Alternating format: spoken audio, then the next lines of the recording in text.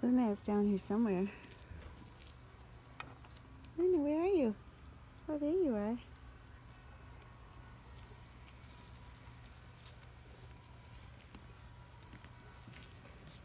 That was a little deep for her.